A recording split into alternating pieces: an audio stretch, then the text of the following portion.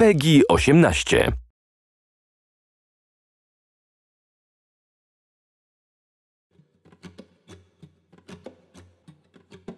This time around, we want players to really care about this world, really feel like they understand this world, and they really are get, get drawn into it.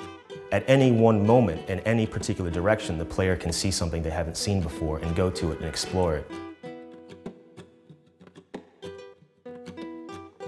In Just Cause 4, we enter into the beautiful South American world of Solís. Vertical environments, gorgeous, diverse biomes. This is one world we cannot wait to explore.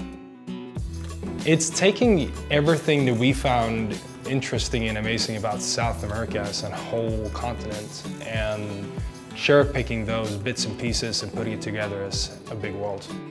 It's a bit of a hybrid of a lot of different countries. We didn't want to just pick one and, and emulate it. We actually were able to take a trip to Peru just to capture uh, the sounds of the different biomes there. How do you write a history for a fictional place? Oh, that, yeah, that's a great question. Okay, uh, let's start from the narrative, okay? Uh, who lives here? What does these people do? And then from there, we build the pieces and we make the town. Where the game starts is not where the history of the island starts. We went back to 500 years uh, to, to, to try to create a historical context for the island that makes sense once you arrive there. Say in the grasslands, uh, that will be composed of more contemporary buildings, where if you go up to the rainforest, where the original settlers came in, those buildings tend to be more of a like, colonial style. We developed river technology for it, meaning that river now have currents, and currents change dynamically. So we have four biomes or regions in Just Cause 4.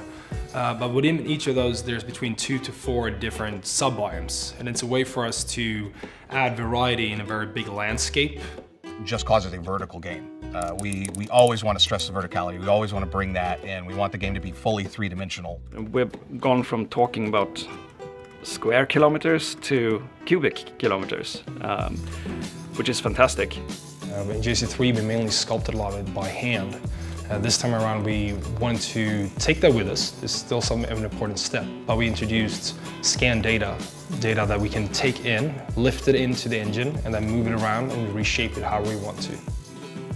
It's not top-down projected map, it's hollow. Um, you have caves, you have cave systems, you have tunnels, so it's, it's more than meets the eye at first glance.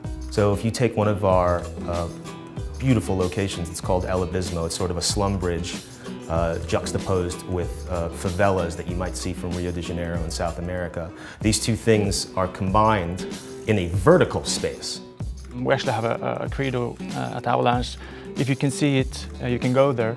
If you poke it, it reacts. And that, that really goes through um, in everything we do, and, and particularly so in, in, in Just Cause 4. So one of the phrases that we like to say is a world that Just Cause deserves. With the world that Just Cause deserves, one of the things that we really want to do was create a playground that feels relatable. So that no matter how long you play this game, you're always gonna see something new.